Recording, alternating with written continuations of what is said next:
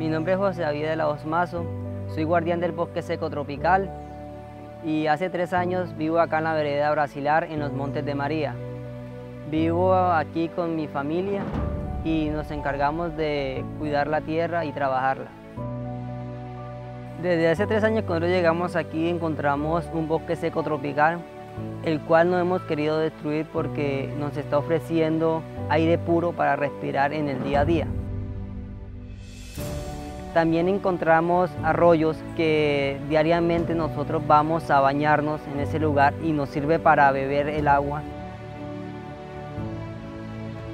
Cuando yo entro al bosque seco tropical me encuentro con muchas aves, este, cual me gusta mucho escucharlas, eh, las ranas, los anfibios que se encuentran allí en este lugar.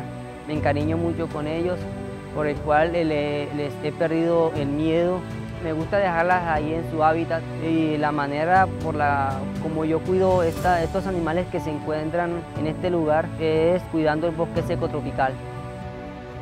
Desde hace dos años llegó el PNUD, estamos recolectando este, plántulas alrededor de los arroyos, el cual los estamos llevando este, a, a unos viveros, el cual los cuidamos ahí hasta que lleguen hasta cierta altura. De ahí los transportamos a las orillas de los, arroyos, las sembramos ahí y eh, las cuidamos para fortalecer la ronda hídrica. Gracias a este proyecto nosotros hemos aprendido a cuidar el bosque seco tropical, aplicando estas técnicas para mejorar el bienestar de todos y para nuestra comunidad.